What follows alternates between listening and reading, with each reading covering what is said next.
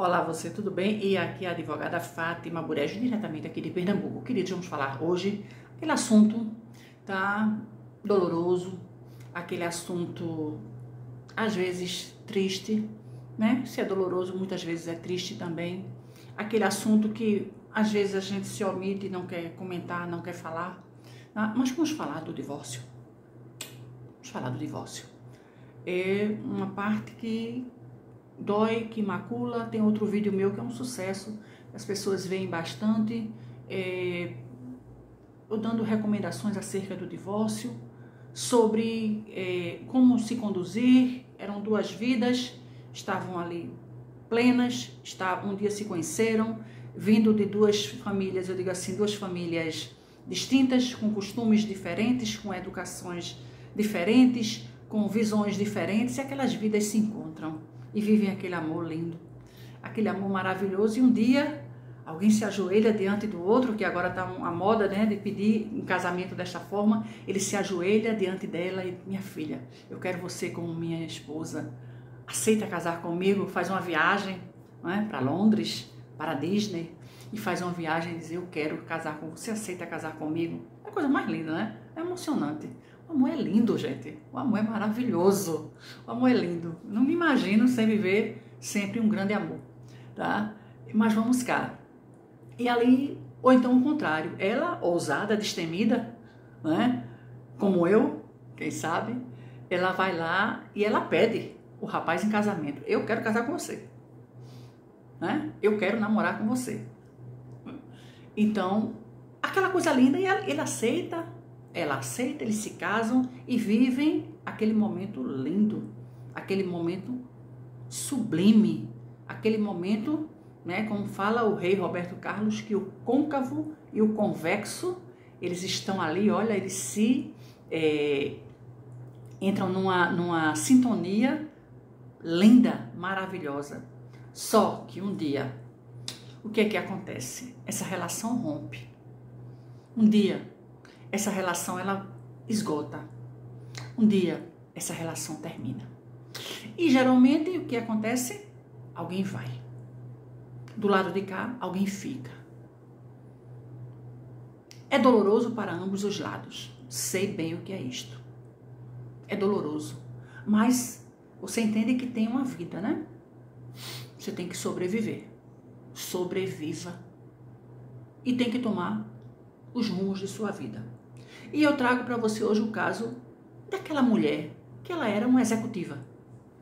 Ele, quando a conheceu, ela era uma executiva, trabalhava numa multinacional, tinha um histórico de vida e tinha uma profissão de em ascensão, ou seja, em crescimento e que ela iria fatalmente ela iria chegar em algum lugar. Mas ele um pouco enciumado e ela totalmente é, ali receptiva e para agradá-lo, ela aceitou. Eu quero, ele chegou para ela, eu quero você só dona de, hoje em diante apenas dona de casa.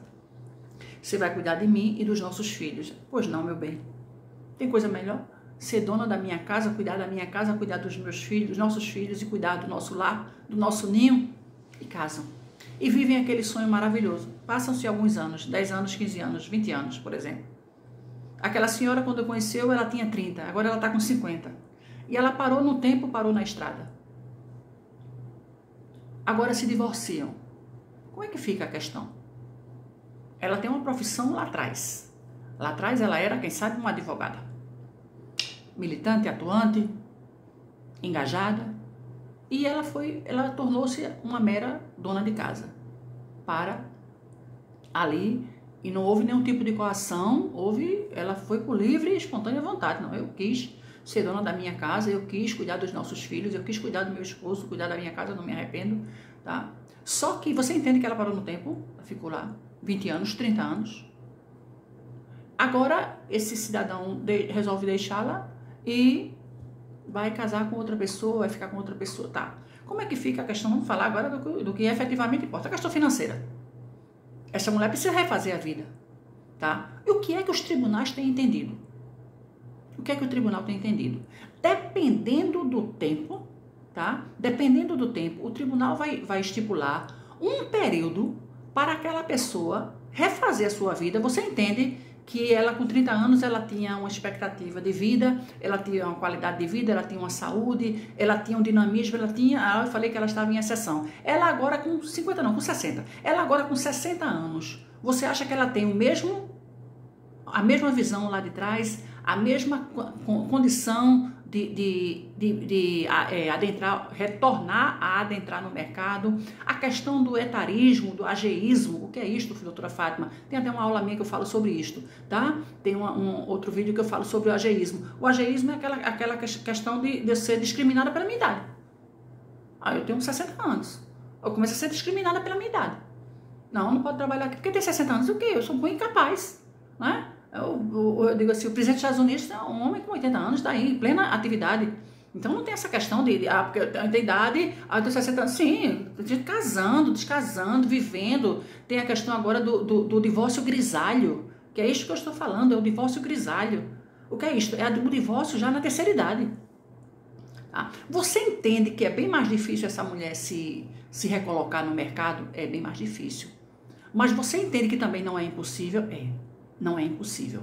Então, o que é que o tribunal. Agora, isso é muito delicado, muito melindroso. O que, o que é que os tribunais estão entendendo? Cada caso é encarado de uma forma peculiar.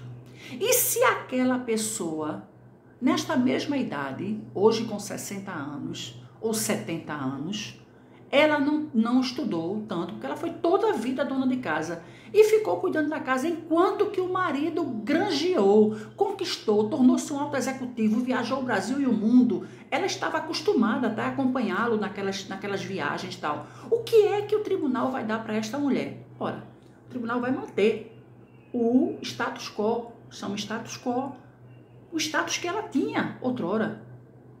Tá? Outrora, não, não tenho culpa que você não estudou? Sim, mas eu estava ali acompanhando. E tudo que nós conquistamos. Então, além da partilha, tem a partilha dos bens, além da partilha, dependendo do, da, da, do regime de casamento, tá? além da partilha, tem a questão do é, de ver como fica a pensão para esta criatura. Como é que fica a, a, a situação da pensão. Ela analfabeta, semi-analfabeta, porque ficou vinculada para amar, cuidar do lar, do esposo e dos filhos, e que ela fez com toda destreza. Ela dedicou toda a sua vida. Agora, na velhice, na terceira idade, nos cabelos já grisalhos, ela vai amargar mais este sofrimento. É claro que o tribunal, os tribunais estão é, inclinados a protegerem esta pessoa. Mas você entende, por exemplo, casei com 30, divorciei com 40, eu estou na flor da idade. Ah, divorciei com 40, parei de trabalhar com os 30 que o marido pediu. Parei de trabalhar. Fiquei sendo é, a madame dele, dentro de casa, cuidando dele e dos filhos do lar e cuidando de mim também. Tal, e ali. Mas eu não estudei mais, eu não trabalhei, eu não me, me, me envolvi com mais nada, fiquei. Você entende que essa pessoa também precisa de um plus para retornar ao mercado? Sim. O que é que o, o, a, a justiça está dando? Um ano, dois anos, uma pensão por um período determinado. Para quê? Para que aquela criatura que ficou, eu fiquei ali abandonada, eu que fiquei, eu me restabeleça e possa tornar a adentrar no mercado. Eu preciso estudar, eu preciso estudar, eu preciso retornar ao mercado, eu preciso me capacitar, eu preciso acompanhar as tendências da minha faixa etária e retornar ao batente. O que não pode é, ou o contrário, com 20 anos e divorciei com 30, na flor da idade. Mas passei 10 anos ali sem fazer nada. Eu posso requerer pensão ad perpétuum, até eu morrer.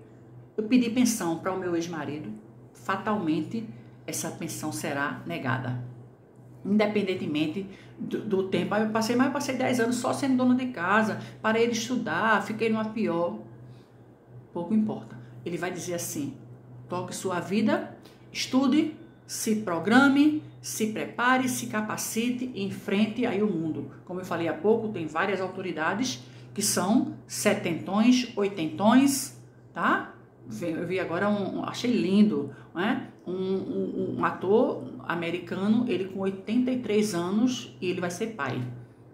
A mulher dele tem 54 anos, tá? Não, 54 anos de diferença de, de, de idade dele para a, a, a esposa dele que vai ter um filhinho agora. Tá vivendo, gente. Ele tá vivendo com 83 anos, ele tá fazendo filhinho, tá? Ele está vivendo, ele está ali agindo. Então, Nada de parar no tempo.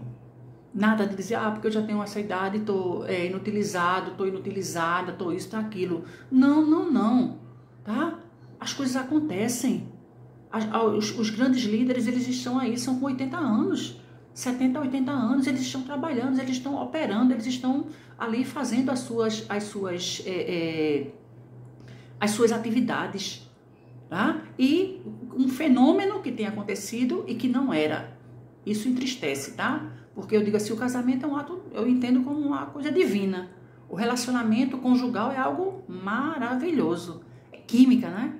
É algo que sai do corpo de um, entra no corpo do outro. Aquela, é lindo, é maravilhoso, tá? é emocionante. E de, de repente essa química acaba, tá? E alguém vai e alguém fica. E quem fica vai, vai aí eu vou ficar, eu vou amargar um prejuízo? Não. Você vai, a gente vai sentar, vai conversar, vai chorar com você, vai lamentar com você, tá? Vai lamentar, mas depois vai tocar no seu ombro e vai dizer: "Pois é, mas a vida continua", tá?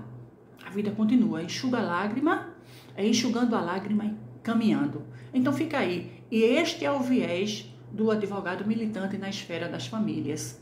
Ele tem que ter essa sensibilidade, tá? Essa sensibilidade para ouvir, para ser um bom ouvidor, para ser um bom conselheiro, e chegar na real mesmo, tá bom.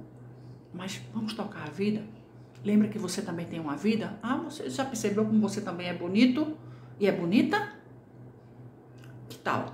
Já percebeu que pode ter alguém olhando para você ao seu redor? Você já contemplou a sua beleza no espelho hoje? E você dá uma levantada no ego da pessoa, para a pessoa se ter uma autoestima elevada. E ali a pessoa vai, é, tá bom, e eu sempre gosto de, de assim, de, quem perdeu foi ele, quem perdeu foi ela. Né? Eu sou uma joia de ouro, eu sou uma joia preciosa. Alguém perdeu, alguém, alguém é, é, é, deixou um ouro em pó aqui. Eu sou ouro em pó, gente. Eu sou ouro em pó. Então, assim, autoestima é elevada. Porque a partir deste momento que você tem essa autoestima elevada, você se autoconhece, você, você vai ter piedade daquela pessoa que lhe deixou. Tá bom, deixou não sabe ele o que perdeu. Não sabe ela o que perdeu.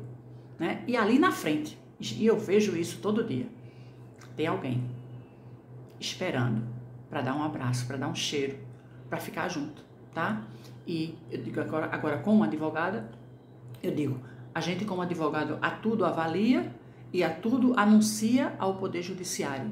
A tudo anuncia. Para quê? Para que haja é, vidas felizes. A gente está aqui para promover o quê? Promover a conciliação, promover a harmonia, promover o amor. Mas se de repente acontece isso, o direito, olha, o direito, ele precisa ser observado. Então fica aqui para aquela questão do divórcio grisalho. Pode acontecer? Pode. Está modal? Está. Está modal? Sim tá? Mas todos os dois, todas as duas partes podem refazer suas vidas. E na questão financeira, na questão da pensão, cada caso tem a sua peculiaridade. Cada caso. E os mais comuns, eu já trouxe para você aqui uma ideia do que o STJ e os próprios tribunais estão entendendo na atualidade. Tá bom? A regra mesmo? Ah, vai ser feliz. A regra é ser feliz. Tudo de bom para você. Curta, compartilhe, se inscreva no canal. Vou deixar o link aqui do outro vídeo. É um vídeo que é um sucesso, as pessoas gostam muito, bastante de ver. Tem mais de 13 mil visualizações e eu gosto. Naquele dia estava inspirada, falava, botava a mão no queixo, fazia isso. Vou deixar aí para você ver. Eu, eu mesmo, de vez em quando, eu gosto de ver aquele vídeo. Eu digo, eu estava tão bem naquele dia, estava linda, estava maravilhosa. Como eu estou me sentindo hoje. Então, é a, a, o recado que eu deixo para você. A vida segue, né? A vida louca, a vida segue. A vida anda, a roda gira e você tem que estar antenado com as, as nuances, com as tendências de tudo que está acontecendo. Um abraço para você, curta, compartilhe e já te inscreve no canal. Tchau!